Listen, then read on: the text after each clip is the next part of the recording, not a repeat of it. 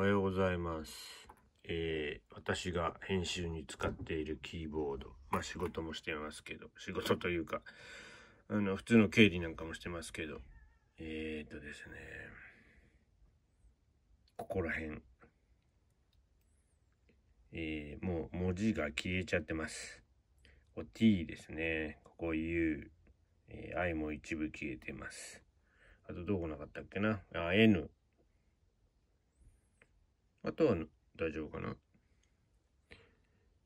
そう。私あの、ブラインドタッチができないもので、こう文字盤見ながら打ってるんですね。あの、指も、えー、4本ぐらいしか使えなくて。なので、この、字が見えてないと、とても打ちづらいんですよ。で、新しいのを買うほどのことでもないので、これをどうしようかと。うん、とりあえずミスタイプは多いので、ちょっと考えたんですけど、書いちゃえばいいじゃんって。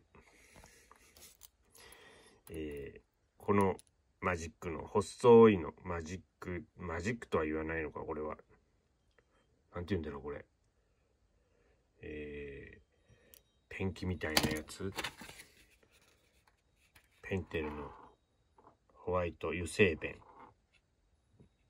ペイントタイプですね。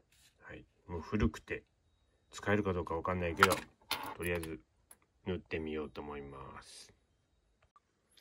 まずは、ここだな。あ、やっぱ太く出ちゃうな。あとは、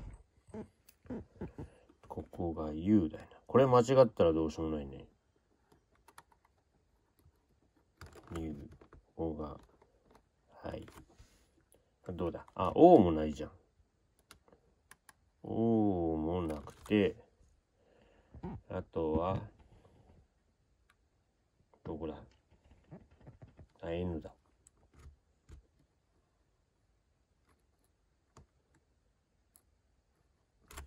なんかこれっぽっちでディスプレイを、ディスプレイじゃないや。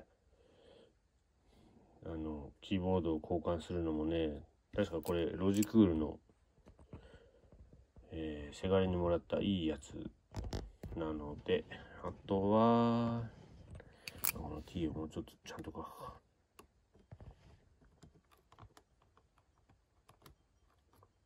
こんなことで使いやすくなれば。あと、この A も見えてない。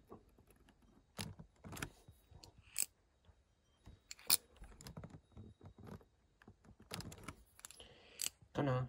あとはないね。数字の方は案外見なくてもできんだよな。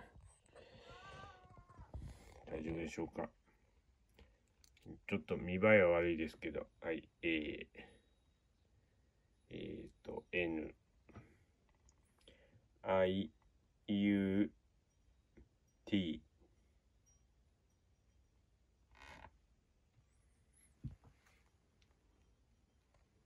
うん復活したかなあと乾いて使い、使った感じがどうなる、なるか。またすぐ折っちゃうかもしれませんけど、またそしたら塗るか。はい、以上、キーボードの補修ででした。